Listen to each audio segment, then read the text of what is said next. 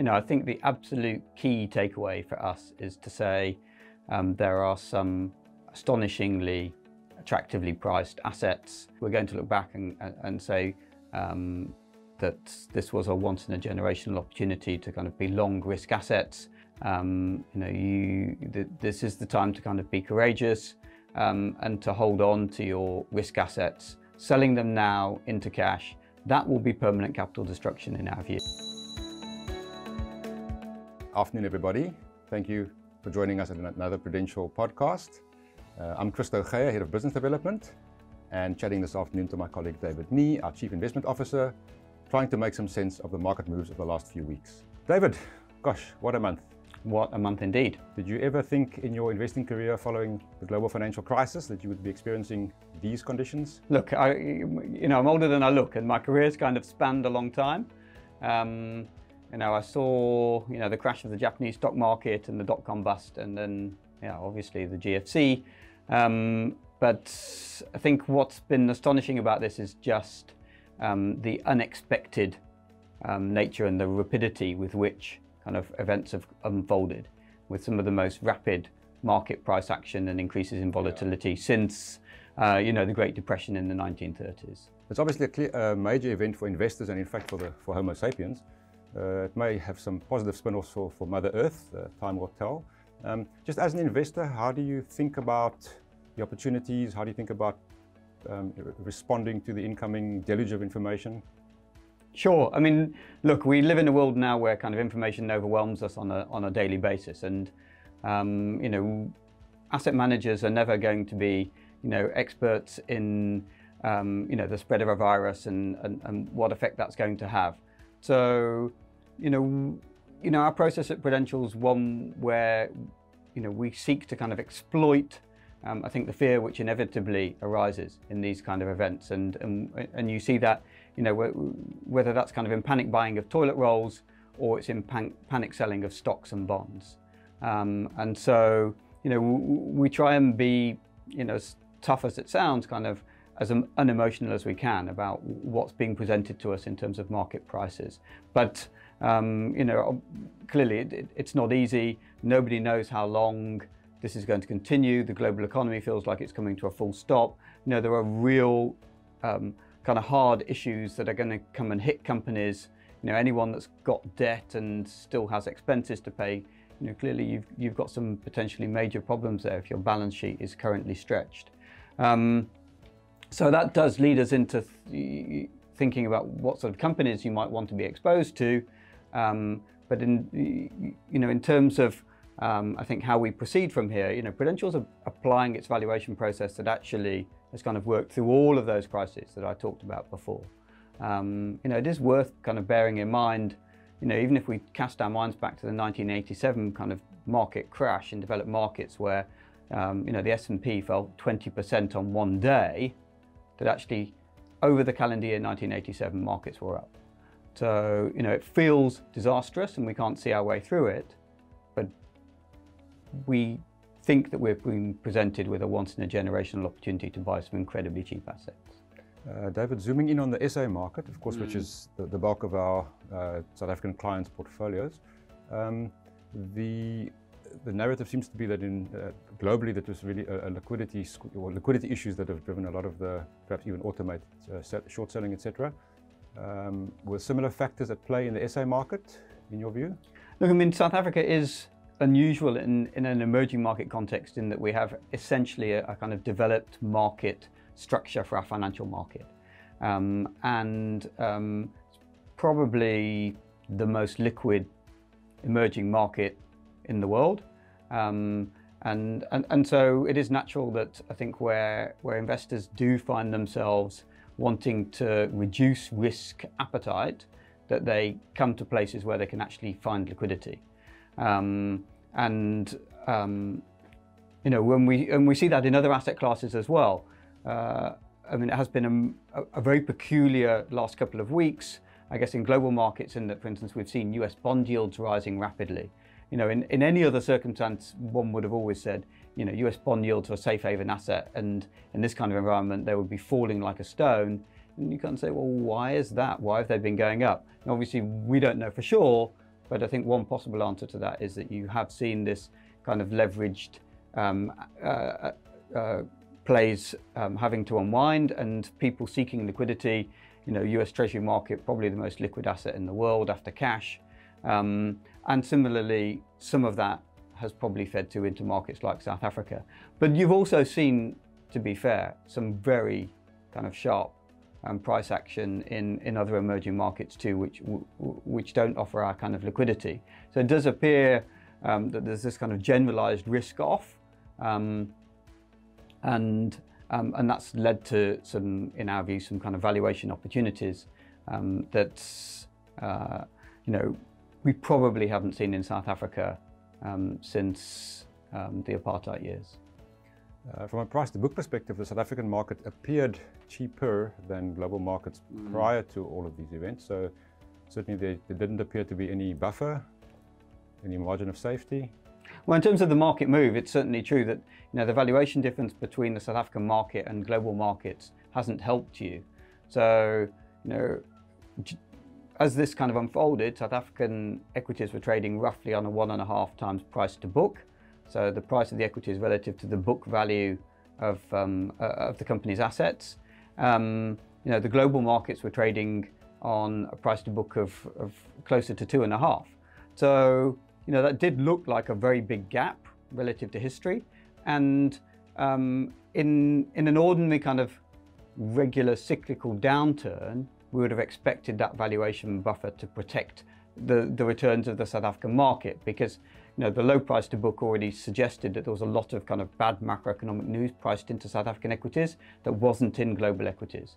But what we've actually seen is that, you know, South African markets fallen just as much as, as global markets have, and such that, you know, we're now um, uh, looking at a price to book on our market of around one, which is, um, you know, probably 20% below where we got to in the global financial crisis. And we know what happened after that. You know, our market then went up 30% a year compound for five years. Um, so, you know, the prospective returns from here look incredibly enticing. The uncertainty about how long it will last, how big an effect it'll have on companies, who will be the survivors and who will be the losers.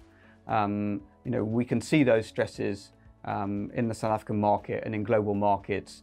You know, one can look at the US high yield market as a kind of bellwether um, of, uh, uh, you know, of, of, of, companies and sectors, um, all the usual suspects under massive pressure, hotels, um, uh, energy, Airline. uh, airlines. Uh, I mean, just, um, yeah, you, you know, if people aren't traveling, if they're not flying, um, if they're not renting cars, um, then yeah, you, you obviously are going to see um, a, a, kind of full stop coming in those companies' earnings. And the question then is, is, this, is it going to be a six-week stop or is it going to be a six-month stop? And, you know, some companies may not survive. Um, but, you know, that said, I mean, the US in particular has already announced a whole raft of measures that are going to be designed to support um, a lot of those industries that are most hard hit. Maybe the fact that Trump owns some hotels himself might incline him to um, to do something to help the hotel industry. But no, I mean seriously, um, you know they, you know whether that's initially giving some debt for kind of forbearance um, or ultimately injecting equity um, into into some of these um, companies, as we saw in the GFC into banks. You know, South Africa's not there yet. Um, in terms of announcing those measures, but it does feel like, you know, we obviously we had the Reserve Bank announcing its rate cut, one, the government departments coming and saying they're going to start deploying some cash for small and medium-sized enterprises. But, you know, I think we're just kind of running a little bit behind the global schedule um, because coronavirus came here later.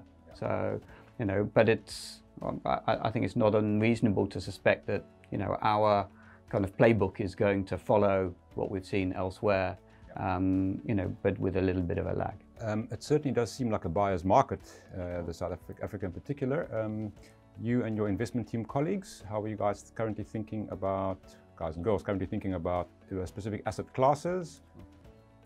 Yeah, I mean, everywhere you look, obviously, you know, assets look cheap. Um, uh, you know, if you start with what we would regard as a safe haven asset, South African government bonds, um, you can lend money now to the South African government for 20 years at a nominal yield of 12%. You know, inflation just printed this week um, at 4.6. So, you know, you're looking at a, you know, real yield there prospectively of close to 8%.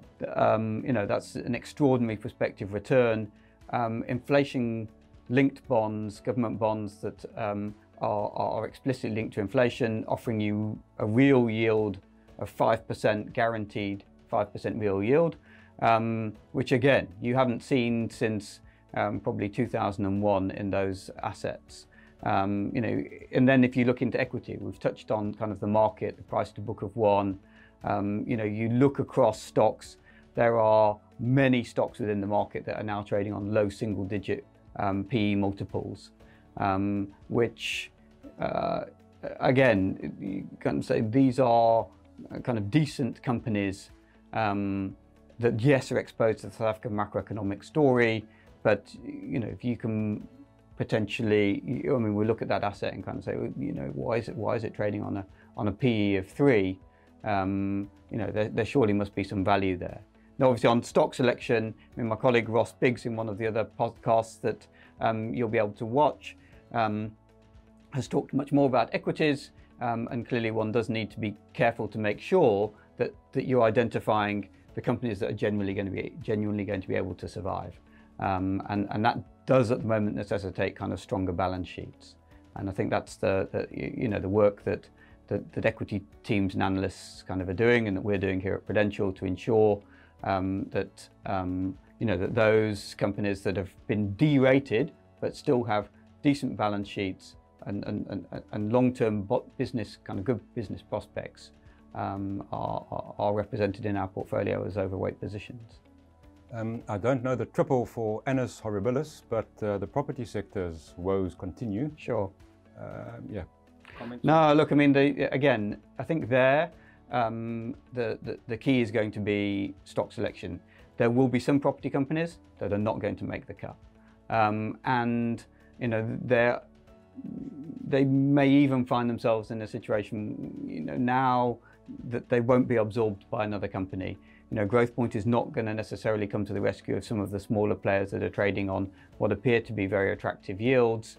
You know, the, the, I mean, in some cases, high yields are simply telling you that the market doesn't believe the earnings um, are going to be coming through. Um, you know, there are huge challenges in the retail industry. You know, from you know quarantine, isolation framework, um, and unfortunately, you know, the the narrative there was already very challenging given South Africa's had the best part of a decade of slowing macroeconomic growth. Um, so we'd seen SA retailers, particularly those that are kind of in general retail and fashion, um, taking massive pressure on margins um, and looking for landlords to bear some of their pain. Um, and, um, and, and that story is, is just going to be um, exacerbated by um, you know the coronavirus episode. Um, yeah, so with, within property stock selections, definitely going to be key. Um, again, we've been focusing on you know the, the, the stronger players and, and avoiding those um, where we have kind of genuine concerns. You know, some of those companies, uh, I mean, Redefine as an example. you know, on our calculations, that stock's current leverage is over 50% of um, uh, loan to loan to kind of value of its assets. Um, you know, and those asset values may well fall in this kind of environment, and and, and that that could cause some very significant stress. So, um, you know, that would be a stock where I think we would have some concerns. Um, you know, and it is also as an asset class. I think the, the, the uncertainties about the fundamental outlook for property have been a reason why um, from an asset allocation perspective, we've been underweight property. And as property as an asset class has fallen in the, uh, this year, we haven't kind of continued to, to add. We've let that property weight shrink in the portfolio um, and been preferring to add equity and bonds um, where we see a greater likelihood of achieving superior returns going forward. Uh, David, um, are there any particular um, portfolio changes that are beginning to you know, be discussed amongst the team, uh, in particular, again, I guess uh, specific um, buying opportunities that are percolating to the top? Look, our process is one where, you know, as assets become cheaper, we um, will want to lean into that valuation. Um, and, um, you know, and we've, it has worked very well over long periods of time, but clearly patience is, is, is critical in that. Um, so, you know, as equities have fallen, we've been keen to add to equities incrementally. Um, and that's also been true in, in, in adding to, to, to, nominal bonds as those yields have suddenly kicked up. You know, in some cases, you know, we've seen yields rise by, you know, 200, 250 basis points. Um, to yeah levels that, once know, in a career. No, absolutely. You know, to to levels that hadn't been seen, you know, since the early, you know, the the early noughties. Twice in a career. Yeah, at turn of this decade. But obviously, bear in mind then, back in 2001, inflation was eight percent. Inflation's now four, and yield you're being offered the same nominal yield. So you know, the prospective real yield is far higher now. So you know, we've been incrementally adding to that. We've deployed, um, you know, some further cash that, um, where portfolios had liquidity available, um, particularly into bonds. Um, and um, as I say, we've kind of allowed the property part of the portfolio to, to, to shrink a little bit um, as uh, uh, given our uncertainties about the earnings outlook for the, for the sector as a whole. The offshore portion of our multi-asset portfolios are managed by our colleagues at M&G Investments. Uh, any idea what sort of areas are looking attractive to them? Yeah, I mean, um, actually, if we kind of circle back a little bit and just talk about South Africa versus offshore, um, you know, uh, I think to reiterate comments by some of my colleagues, um, you know, the rand does look very cheap, um, probably, um, you know, certainly as cheap as it was in in, in the Nenegate situation, and and bear in mind, you know, the returns post Nenegate in South African assets were fabulous, you know, as the rand appreciated.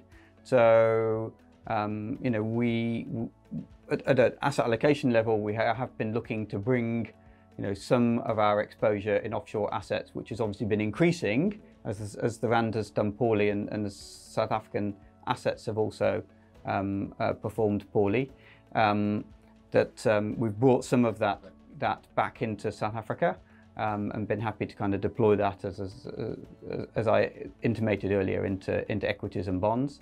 Um, within the global part of the portfolio, um, you know, I think the, the, the, recent price action, you know, is inclining them to, um, you know, to look at um, developed market equity um, as, as an attractive option there. you know, previously, you know, we, we had been focusing on perhaps some of the higher yielding emerging markets where given the developed markets, particularly the S&P, had looked expensive. So we'd been happy to kind of be underweight um, the US equity market into some select emerging. And I think what's changed is that you know some of those developed markets, um, maybe particularly the European markets, have, have been looking, uh, I think, after this market move um, to offer really uh, I think attractive long-term value. The S&P looks to us, you know, to be fair, it's had a huge derating. You know, you've gone from a 19 forward PE to a 14, um, uh, but it doesn't look really cheap. Whereas some of those markets now are pretty much as cheap as they were in the global financial crisis. Thank you very much, David. Uh, fascinating insight as always. Um, we hope that our viewers enjoyed that and we look forward to continuing the conversation in the coming weeks.